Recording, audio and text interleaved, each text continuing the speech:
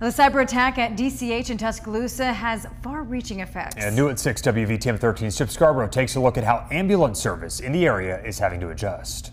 It's been a busy week for those who provide ambulance service in and around Tuscaloosa. A cyber attack at DCH Regional Medical Center has forced non critical transports to be diverted to Birmingham. So that affects ambulance response in the city because those units are out of service longer. So we put on extra units to augment that response.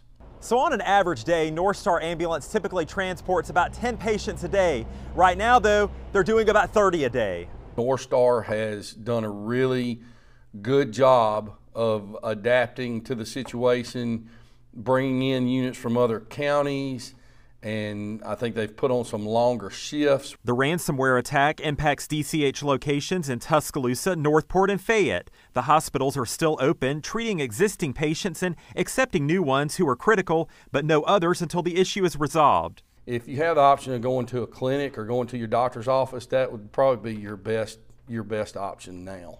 As the FBI and Secret Service investigate what happened at DCH, ambulance providers are prepared to continue their extra duties as long as they're needed. In Tuscaloosa, Chip Scarborough, WVTM 13.